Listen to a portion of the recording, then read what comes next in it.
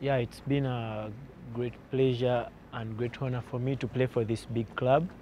Yeah, I want to thank uh, all the stakeholders, uh, my teammates, and all the coaches for all these seven years. I want to thank every coach who I've, I've passed through. Yeah, I want, yeah, I want to thank them for the opportunity they gave me to play for this big club. Yeah, I'm so happy I played to I played to the best team in Uganda. Uh, so far, it's been a great pleasure and honor to play for this big team in Uganda. So I came here as a young boy. Now I'm living as a man. I'm so happy, and I thank all the coaches for the opportunity they gave me, and I thank all the stakeholders and everyone at the club, the fans. As a young boy, uh, I always wanted to play for the for for KCCA club because it's the club I support. Yeah, so it was it was my dream to play for this for this big team. Yeah, and and it finally came true. I won I won many trophies with the team. Yeah, so um, my dream came true. So the best moment at the club uh, is the time we qualified for the CAF Champions League, and uh, the other moment, uh, the the one we won the CECAFA CECAFA tournament. Yeah, so those were my best moment because at the first at first uh, in both trophies no one believed in us.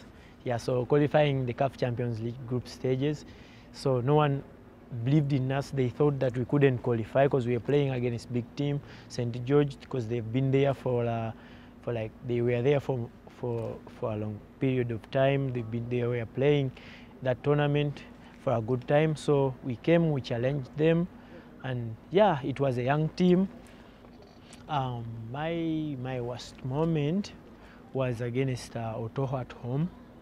Yeah, so it was a big game. So we were going to qualify. It was a do or die game. So uh, I got injured in the warm up. Yeah, so I felt so bad. I couldn't help my team in any way.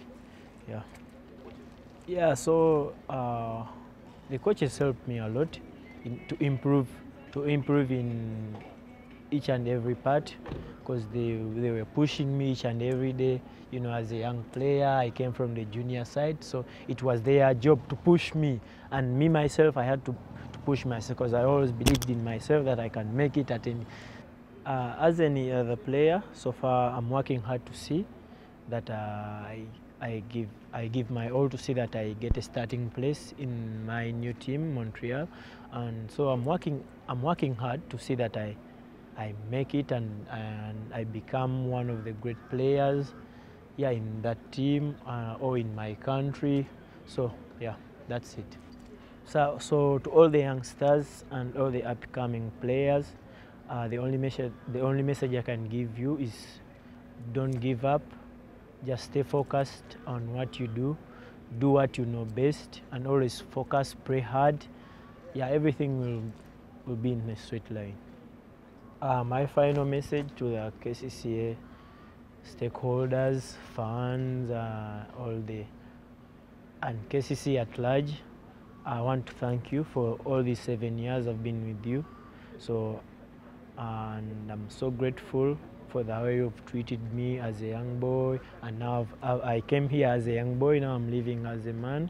So, um, I made my you made my dream come true when I started playing for this team and it, it has all, always been a honor, it's a great honor for me, and I'm so happy for this. I want to thank you for everything you've been doing for me, and thank you so much. Goodbye. Yeah, KCC, KCC is my home, and uh, I'll, whenever I have the opportunity to come, I'll be able to come and see the boys and yeah, you, know, you never know it's where I might even retire.